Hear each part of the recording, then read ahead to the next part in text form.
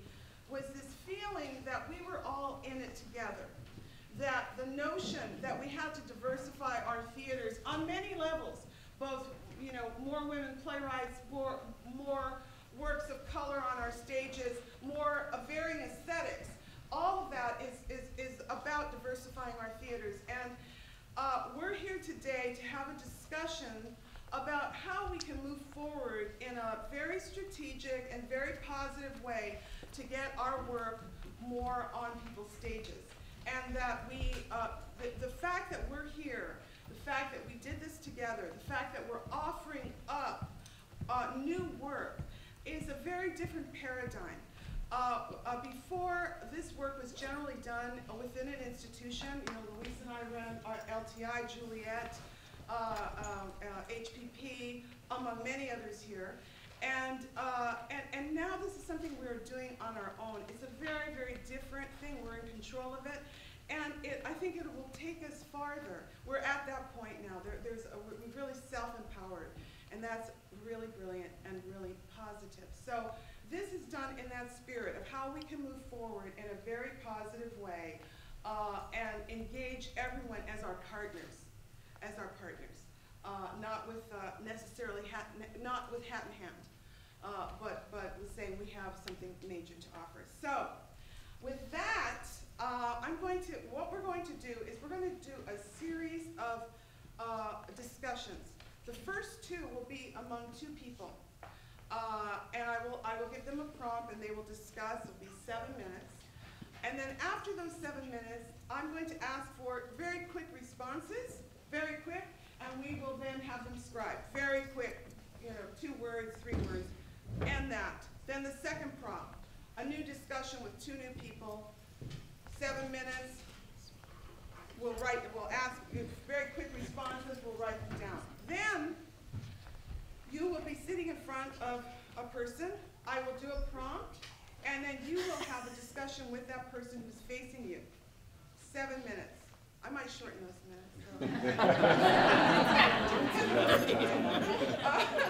And then we'll do, to we'll do, what you discuss, and then we'll do uh, reactions, uh, thoughts against Broncos, a second problem, and probably a third. We'll see where, where we come. But in the meantime, uh, after you do your first discussion, we're gonna ask you to move around the space, get a new partner, sit down, and then, uh, we'll, we'll do the second discussion. That's, that's the seating configuration, guys. I know that it's a little awkward, uh, looking this way. Uh, how are you guys doing? Are you okay? Can you manage that? Uh, but I wanted to introduce our first two, uh, uh, I, we, we know Polly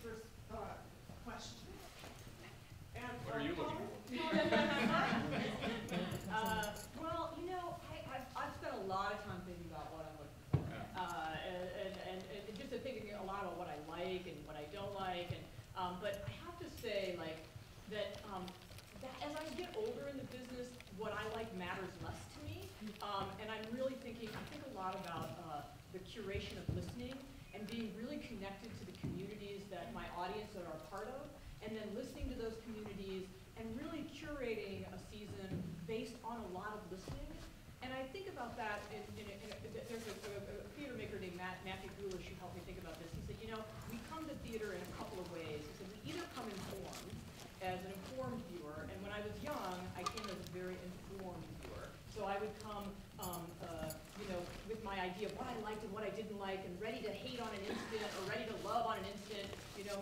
Or he says, you know, we come ecstatic. Um, and so part of what I try to do now in work is like, how do I come ecstatic? How do I come um, ready to receive, and, and then what do I experience when I come ecstatic, and how do I see what other people around me receive? Because I feel like not every story was written for me to like, but as a curator, I'm really responsible for listening and thinking about um, uh, what other people are responding to. And so it's kind of some balance between, um, I don't know, you know, trying to find plays that are exciting and voices that you haven't heard before, and then that curation of listening. So Yeah, yeah, and that's a good, that's a good word. I mean, what, uh, you know, I've worked with Bob Falls at the Goodmans for thirty years, and he really brought a different way of thinking about a large institution's artistic leadership, because, um, it's not the single ego, it's not just what Bob likes and what Bob wants to do, because for a long time, we've had an what we call the artistic collective, and Henry Godinez, Chuck Smith, Regina Taylor, uh, Rebecca Gilman, Mary Zimmerman are all part of that. So in a way, Bob has become a curator over the years because the, the Goodman's artistic direction is, is kind of the sum total of what those collective members are passionate about, and of course what Bob is passionate about, passionate about as well. But, um, but yeah, the whole thing of listening, because Bob, you know, Bob jokes about the fact that he thinks that sometimes as a subscription brochure should be a of Bob going, I don't know, because he's, you know, he, he backs, it's about individual artists in our case, whether it's playwrights or directors,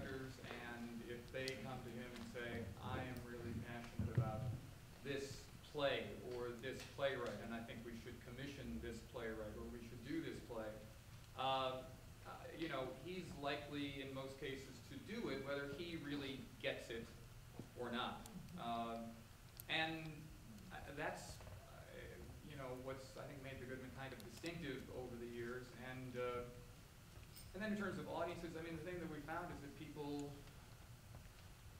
you know, it, it, what kind of plays do we like? I don't know. We like all kinds of plays. I mean, the, the on the one hand, it's great to work with writers who um, really are writing for the theater, and, and I'll try to paraphrase what Bob has said that he really likes plays that can't be turned into movies or television shows. In other words, intrinsically in the theater. If you don't see it in the theater, you're not going to be able to, because we can't, it's impossible to miss anything anymore, you know? So the, the thing we have going for us in the theater is you can gather people in a room and have a very special, unique experience that, uh, you know, you can't tell your friends, well, check it out on live stream or on YouTube or whatever, because it won't be the same.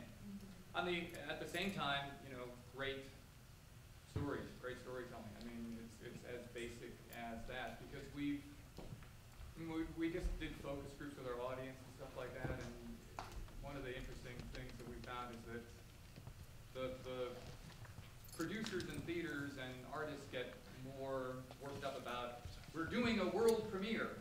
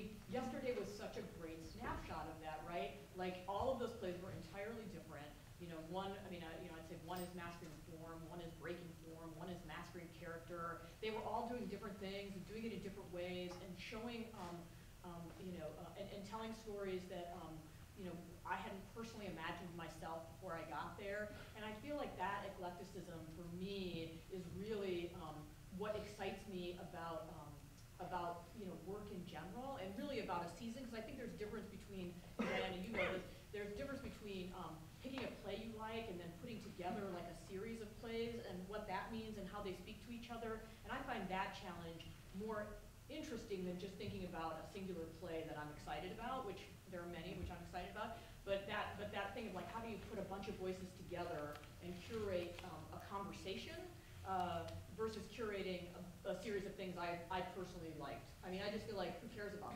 You know, um, an audience may or may not care about that. So um, I'm more interested in how do we provoke a really interesting conversation through the course of the season with a bunch of different plays. And I thought we really started that yesterday. Uh, I've had a bunch of conversations and it's like, it's really exciting to talk about that.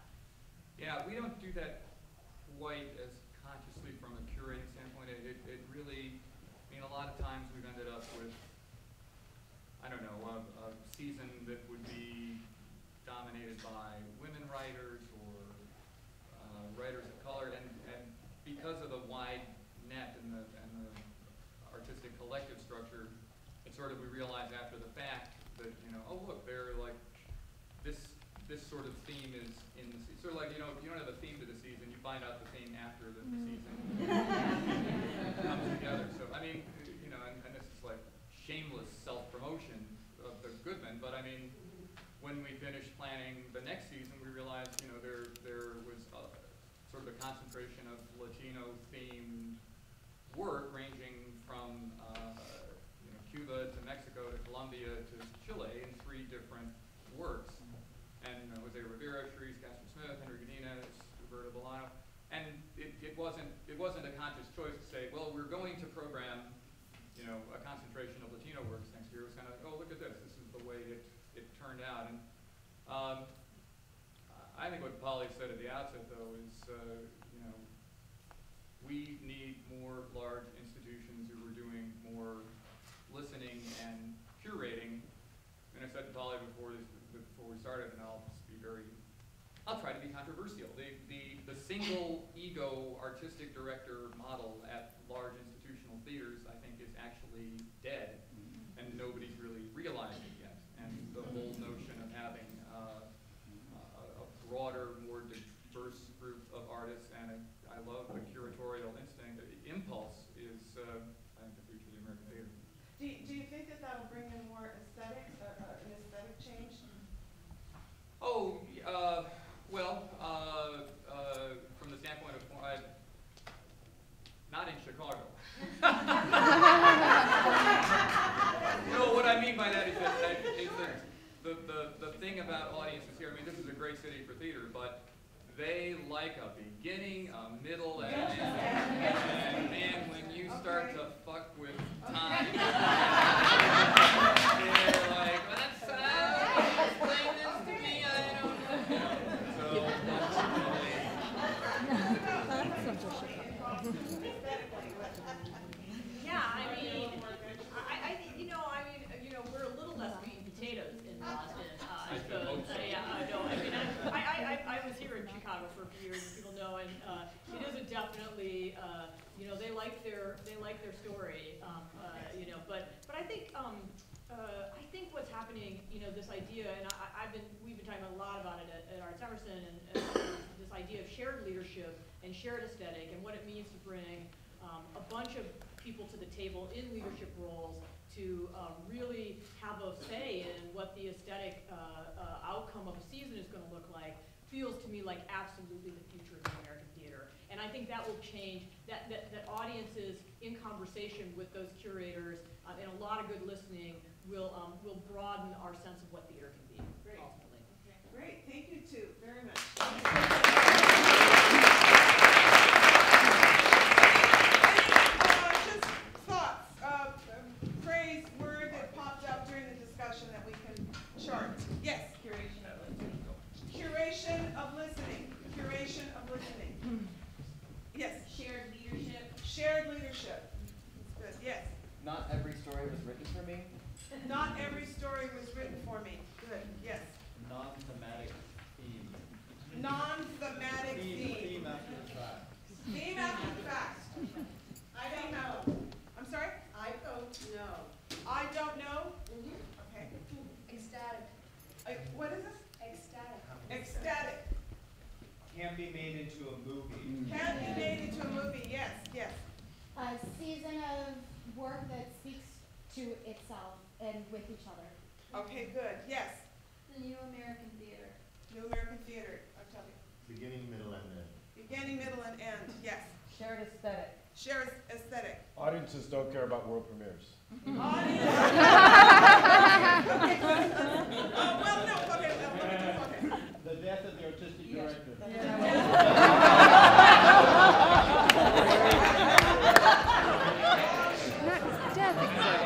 right, so great, guys, really good, really good, really good. All right, I'm gonna introduce our next two. I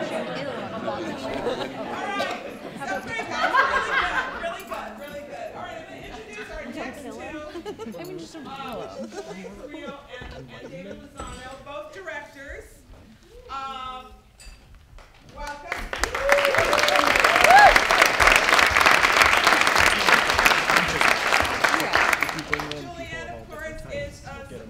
Associate member of, or a member of Cornerstone Theater and a longtime freelance director and ran, uh, uh, Hispanic Playwrights Project for ten years, about.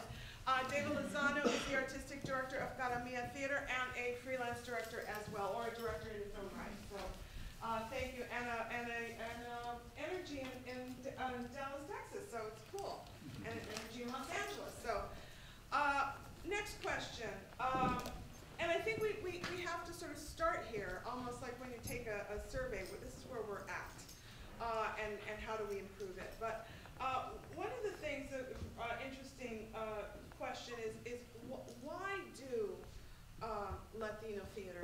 And what, in your opinion, when you're looking at the field, and, and that's kind of a side question, really, I think that the answer, the real question is, uh, what are the models that you see out there that have really worked? uh, and that really, uh, uh, you feel will really charge us forward. Mm-hmm. Well, we both have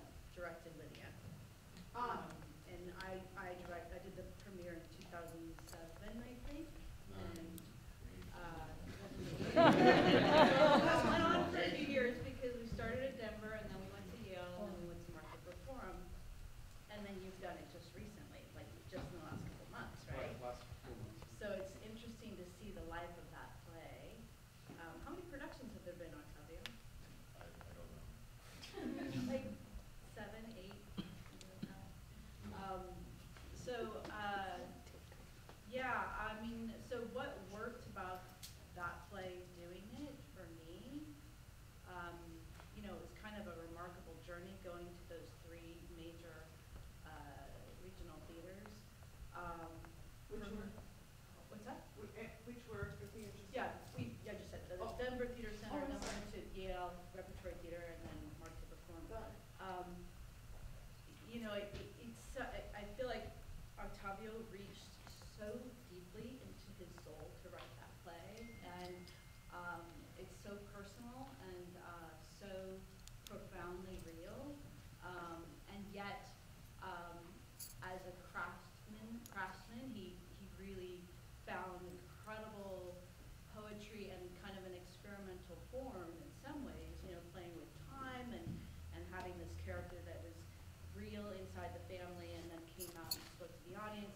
Um, it, I think all of those things made it, um, somehow really accessible to people. It was still family, it was still, you know, in a, in a living room, it was a, it was a, a family that we recognized, and yet he was playing with poetry and form in a really unique way. So pushing form, but at the same time having it be eh, gra- incredibly grounded in a very, very, very personal way. Deep, deeply personal way. And I know for me as a director, um, that was like incredible springboard for me to reach inside and be very personal and be very, you know, take risks as an artist, because he gave me that platform. So, um, I feel like what was so remarkable in going to these three theaters was that, um, you know, people that, obviously we have a lot, a lot of non-Latino audience members that completely identified with this play because it was their family. Then people came up to me and were, you know, weeping, like this was my family. And, um, so, I mean, you know, it's that thing, like the more personal you can get, the more universal it can be. So I think that was, that was, um, for me, the experience of why it was so successful. And I'm curious about the journey and where it landed, and, because you did it for a primarily Latino audience, so I'm curious about what that experience was like. I think, um, I, I, I- can also look at this, uh, this production actually in terms of our organizational trajectory. Um, because in many ways Lydia was a landmark production for us, that even critics were saying that this was the best production that they had seen of us, you know, in, in our, in- of the plays that they've seen of Cara Mía. And so, um, and then uh, as an artist, I could see how in terms of design, um, the, the maturation of our resident ensemble, in which um, uh, five of the principal roles were played by resident ensemble, and um, and then um, two were from uh, other outside members. That uh, that it was it was uh, it was like a bonfire, and um, it was just amazing artistically experience. But one thing about the trajectory is that you know as a as a producer, there's always this anchor in our community that that we that we're not producing just simply um, because of our aesthetic interests, but there's also this this umbilical cord, this connection to our community about what they really need to hear. And so I would say our company was reborn again in 2009 after we were about to close down, and we actually focused on original work, creating topical original work, um, very physical theater, and then um, as we started uh, building out our season, um, one of the first plays for us to do, of a text-based play, was Lydia, and, we, and, and I read it, or on Ensemble read it, boom, it's like, this fits perfectly for us. And what was amazing was that these audience members who are often activists and lawyers and, um, and really uh, kind of grass, grassroots organizers as really culturally centered Latinos, is that they would walk into Lydia and they would experience the craft of, of, in, of, of the play or of the, of the writing, of the production, and we would have astonishing results. And I remember one lawyer walked in stone-faced because, and he met me, and then he could, I could tell he was being forced to go by his wife. And right after the play, he walked right up to me and he said, I really want to uh, support your theater company. And he's, since, since April, he's donated several thousand dollars. So, um, and I was getting phone calls. And so it was just that kind of, so for, for me, it's this anchor and how, how far can we go into like the aesthetic stratosphere, also thematic stratosphere, but we're not Latino if we're not connected. Because then, once we lose that connection, then we move out into another, I think, I think we move out into another, uh, we, we move into the mainstream, I guess. Is, is that, is that bad? No, it's not bad. I, like, uh, we had a strategic planning last week, and one of the, one of the board members said the vision of our company should be that we no longer need to exist. That, that Latino does not need to be identified, that everyone has a voice. Um, and it's a very utopian vision, but that's what he was saying, is that all the, the mainstream theater will be doing all of our plays, um, and small and large, and so, um, I, I, I, I don't know, I mean, that's kind of a theoretical thing I just pulled out, you know, but, um, but this idea of anchor, I think, is very important to us. So both of you, so, uh, one of the, so a model is, uh, uh, finding a, a piece of work, right, that really speaks to both a more traditional audience and then also the Latino audience. That's one model, that obviously, you know, partnerships are created and then your theater company was really, you know, uh, uh, there was a moment of elevation that the work provided. Anything, anything else? Well, we're jamming about the productions, uh, Latino productions that were like the more visible in the last three, four, five years. And, you know, obviously, we're really excited about Hamilton and what's happening in New York. I mean, but I haven't seen it. Has anybody seen it yet? Yeah. Is it fantastic? Yeah. It's amazing. Yeah, so I'm excited that that's happening, but, um, but you know, in the regional scene, um, you know, we have Culture Clash is always doing fabulous work and putting stuff out, yay, pictures. And we have, um, Luis Alfaro's work is done consistently, and, um, Quiara's work is done consistently. So, you know, we're kind of just looking at what, what the common thread, I mean, humor, humor seems to reach universal audiences. Um, and, yeah, I mean, I, again, I think, you know, the willingness to, um, to take risks as artists in the, in the personal sphere, you know, to into, you know, to not do what you think people accept, uh, are, are interested in, not, like what Polly was saying, you know, you can't, you can't just do what you think people like, you have to do what you, what, kind of what, you have to listen, you have to kind of listen on a deeper level, and, uh, and so I think that, that those artists are doing, uh, doing just, they're, they're taking risks, and they're pushing themselves, and, and they're craftsmen, you know, they're cra- craftswomen, they're, they're, they're people that are super disciplined about their work, you know, and that's, you know, that's something that we, we, we, we have to continue to work on that, you know, it's, it doesn't, it just doesn't come out of us, we've gotta work, we've gotta go to school, we've gotta educate ourselves, we've gotta seek work, we've gotta, you know, and, and all, the, the, the artists that are doing well are the artists that have worked their ass off, you know, so, um, and I see that, you know, just from, you know, HPP, the last HPP was two thousand four, it's like ten years ago. You know, but just as, it's, it's interesting, I was on the selection committee for this festival, and it's so great to see where the work has come, like, and I know it's because people are working, they're, they're, they're doing the work, they're, they're focused in a different way, and that's really exciting to see. Great. So, the best model is good work. All right, all right, great. Thank you, guys. Thank you. All right, so, uh, reaction? Uh, yes, Christina. Super disciplined. Super disciplined. Yes. Juliet is gorgeous. Thank you.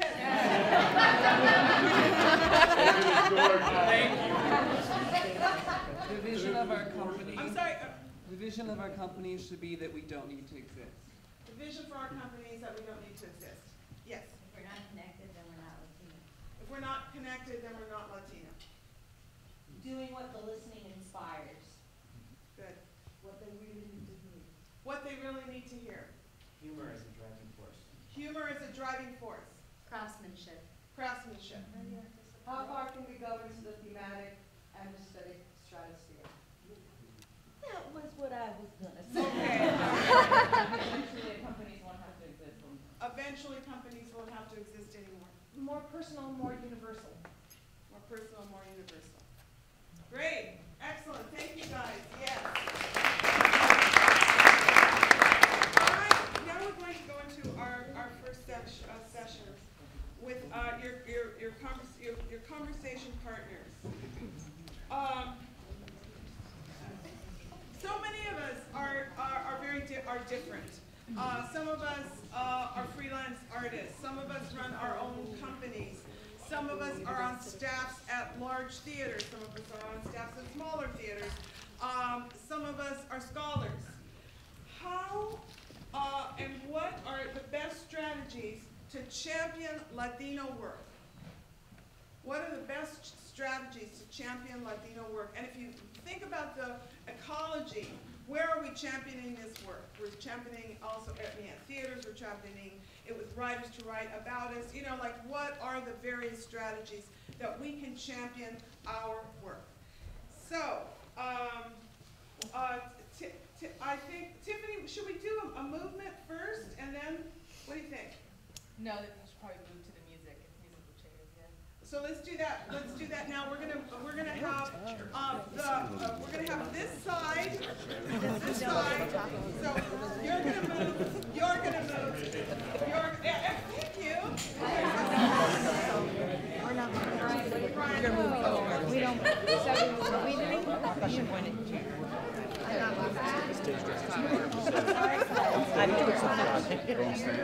yes, uh, people put your bags in the chairs.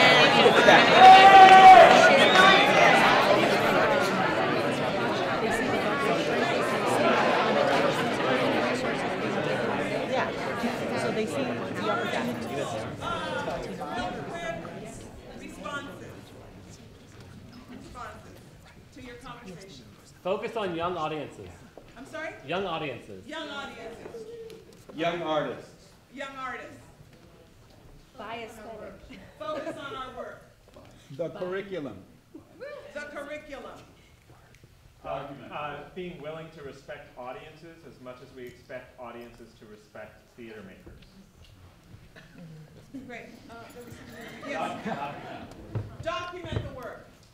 Infiltrate the academic system and, uh, um, with the majority minority. Great, yes. Uh, be sincere. Be sincere. Uh, dramaturgy. Dramaturgy. A white audience can be interested in bilingual work. I'm sorry? A white audience is interested in bilingual work. A white audience is interested in bilingual work. Yes. Taking over what is already ours. Taking over what is already ours. Yes. Mission. Mission. Yes. Artistic partnership without being exploited. Oh, good. Yes. Exposure. Exposure. The role of critic has changed. The role of critic has changed. Uh, touring, making the show. Touring. Yes. Uh, yes. Be generous. Be generous. Yes. Global theater is Latino theater. Global theater is Latino theater. advocating for resident producers and artistic directors with well-crafted plays. You helped us, now how do we help you? Great. That's great. Required reading on the syllabus of Latino plays. Required reading on syllabuses of Latino plays. Yes. Last Mentorship. Mentorship. Great. Very good. Oh, okay. These two last ones. Go ahead. Representation on staff. Representation on staff.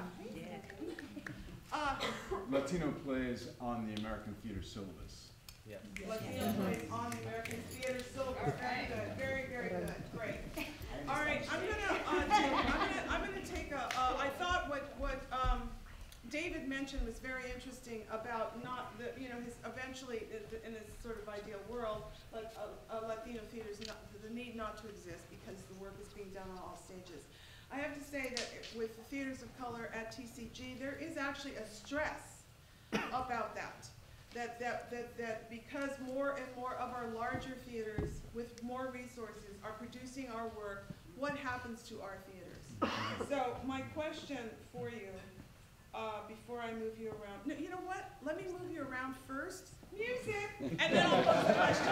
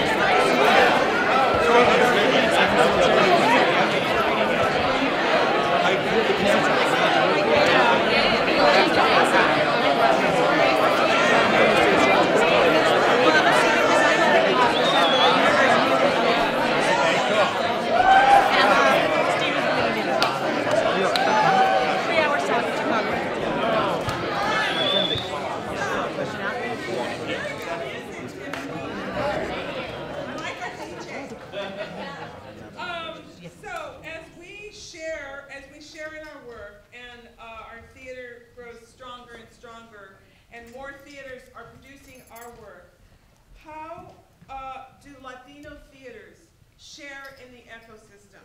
How, wh- what is our place in the ecosystem? Okay, that is the question.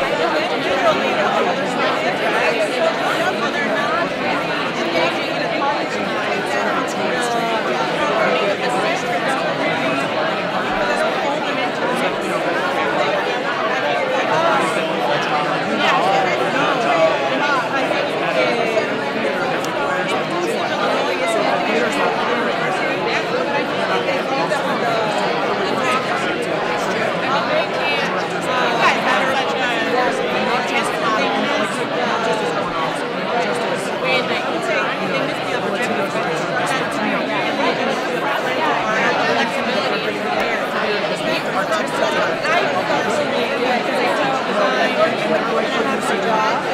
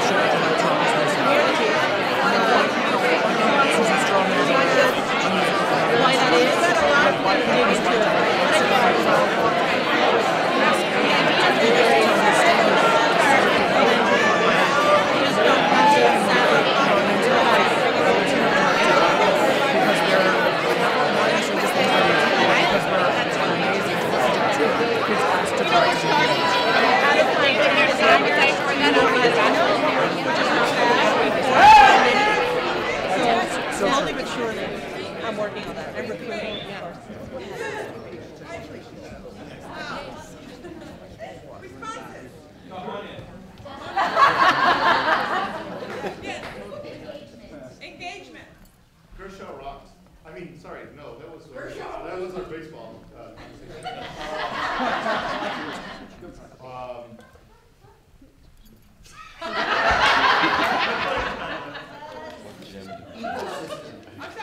Ecosystem. Then the theater center can do one of your plays, Su Teatro can do the other one. Okay, great. Excellent. Excellent. One for everybody. So, guidelines.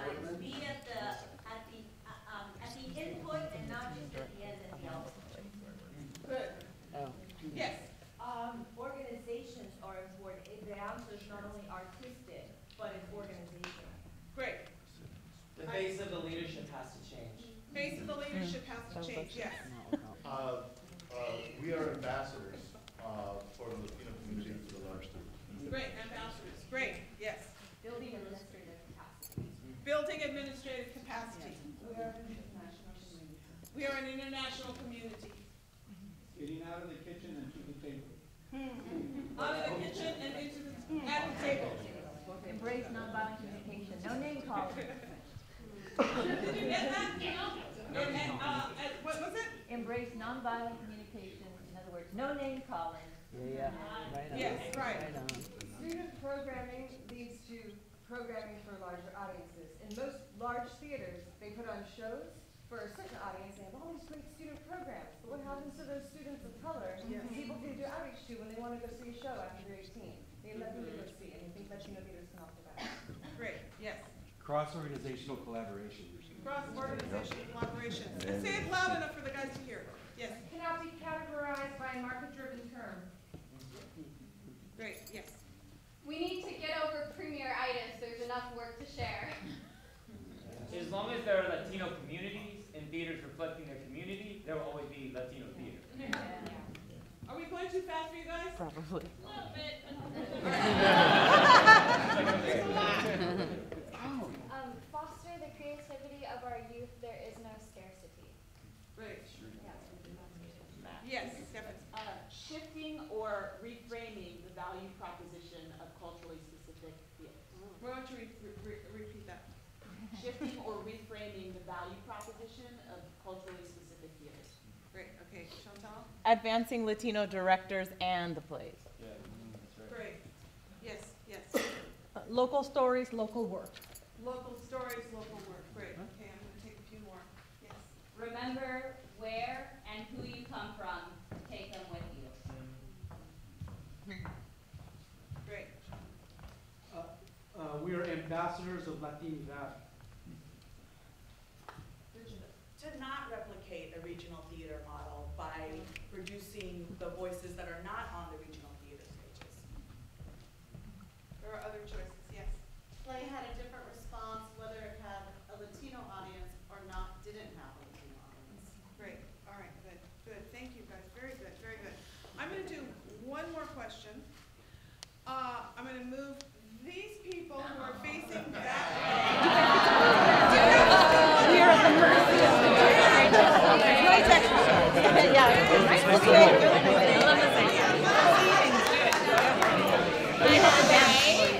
It'll be our last question, yes. Oh, yeah, it'll be our last question. Juliana. Tell them which way to walk, is that it? Uh, so everyone, when you get up, walk that way. No, not everybody. Counterclockwise.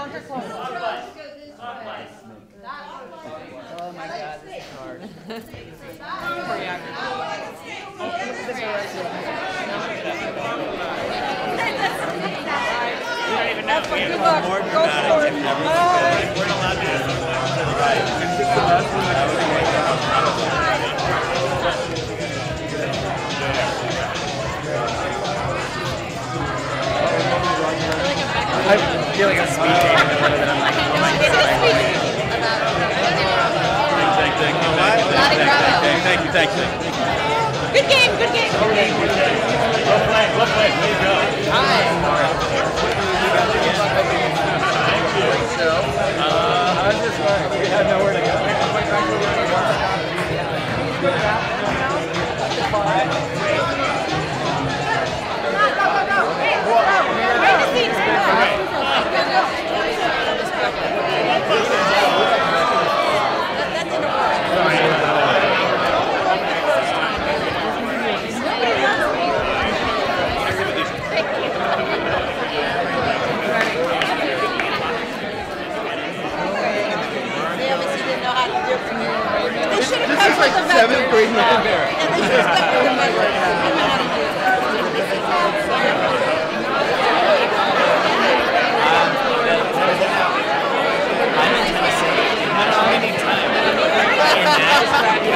the third question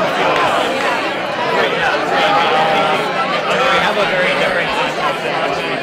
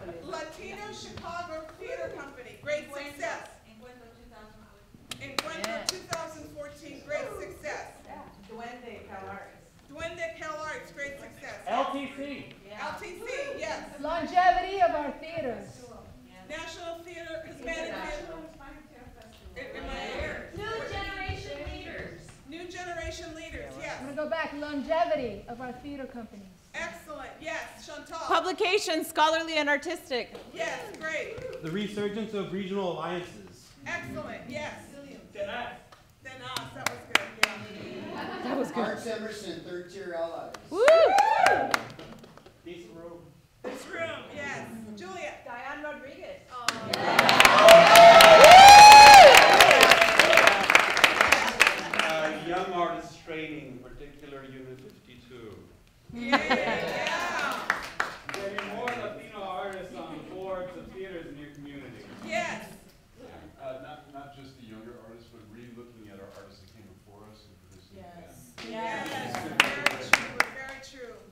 read Fornés's mentorship.